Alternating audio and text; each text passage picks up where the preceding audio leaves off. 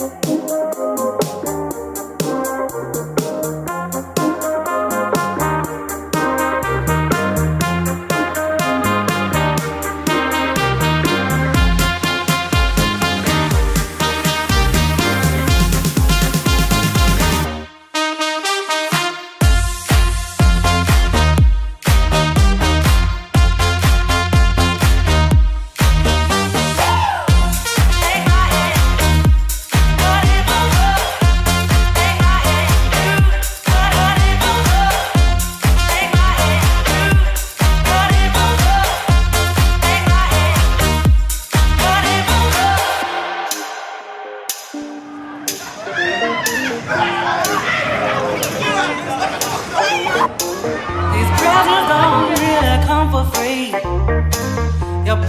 don't mean that much to me.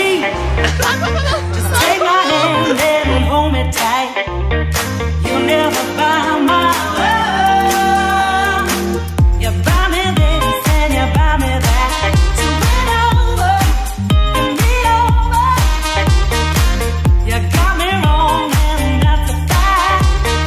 Something that you got to know. baby. Qu'est-ce que vous pensez du gîte? C'est la On est bien d'accord